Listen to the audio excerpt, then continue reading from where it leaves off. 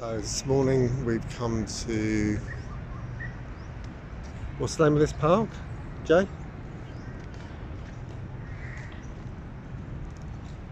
Jason.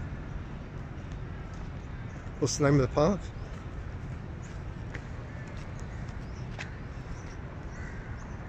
I'm not going to say it. Limpur Lim- something? Lum, Lumpy. Lumpy I don't know.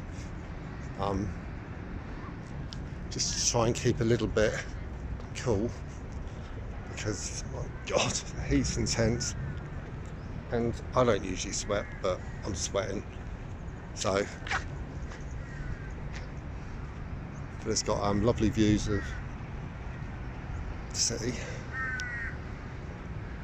So, a little bit of walking to be done.